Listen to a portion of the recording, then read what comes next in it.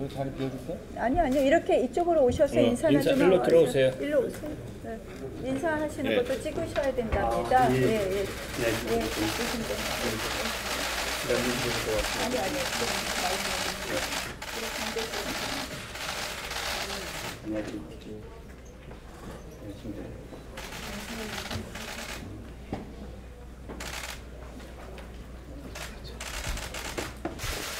우리 이재욱 차관 요새 굉장히 바쁘실 텐데 어, 또 국민들께서 굉장히 관심이 많은 거고 우리가 꼭 챙겨봐야 될 일이라서 어, 오늘 좀 국회 보고를 들어오시라고 했습니다.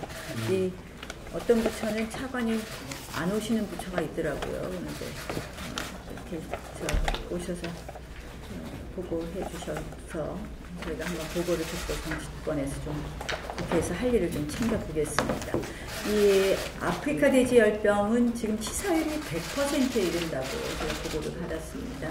아, 그것이 이제 여기 우리 김성원 의원님과 계시지만 예, 경기도 파주 연천에서 이렇게 어, 발생하고 있는데요. 지금 사실은 원인이 명확하지 않다 이렇게들 말씀들을 하고 계시는데 지금 이제 아주 신속한 우리의 대응이 필요하다 이런 생각입니다.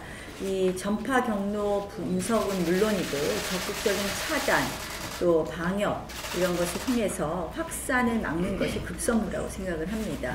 어, 이 조기 차단이 제일 중요하니까 어, 총력 대응해 주실 것을 주문합니다.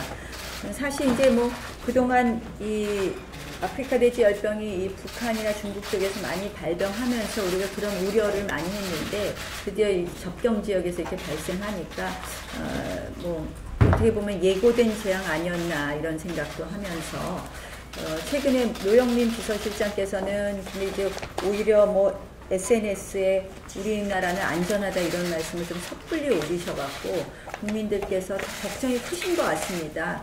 도대체 그동안 정부가 정말 안전을 기한 것이냐 이런 걱정도 많은 것 같습니다. 그래서 저희 당에서 지금 어, 말씀드리는 것은 과감하고도 신속한 방역을 좀 추진해달라. 어, 그 다음에 이제 두 번째는 조속히 빨리 어, 조속히 전파 경로를 좀 파악해달라. 그리고 어, 그것에 따른 원천 봉쇄를 좀 해달라라는 말씀이고요.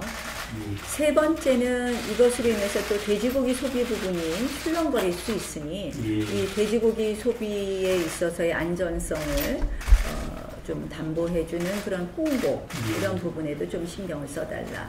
또 마지막으로는 이것으로 인해서 또 돼지고기 소비 가격에 어, 좀 등락이 있을 수 있지 않겠습니까? 예. 그래서 이 부분에 대해서도 또 어, 미리 어, 아주 예의주시해서 판단해서 이에 대한 대책을 마련해달라는 그런 말씀입니다.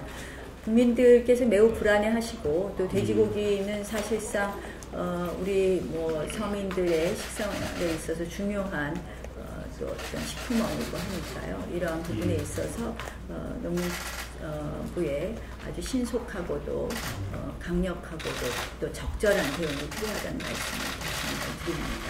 예. 비공개로 하겠습니다. 여러분.